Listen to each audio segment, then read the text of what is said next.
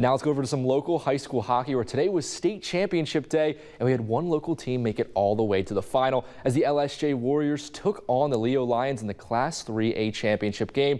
And this one was right over at the Ice Box here in South Bend. And let's go first period. The Warriors who get on the board first, put on goal by William Webster with Grant Little in front. And just like that, LSG, LSJ has the early lead. Second period, and the Warriors are going even further in front. Jones Rapid, another outside shot leads to a goal for them, and now they're up by two after that. All right, closing moments of the second, and Leo, they finally break through. Puck in front, Tyson Feinfrock, yes, Lions. One goal game, and third period, and well, they're going to close that gap. Into the zone before Colin Robeson puts the moves on, converts, so we're all tied up at two goals apiece, and after that, we have to head into overtime.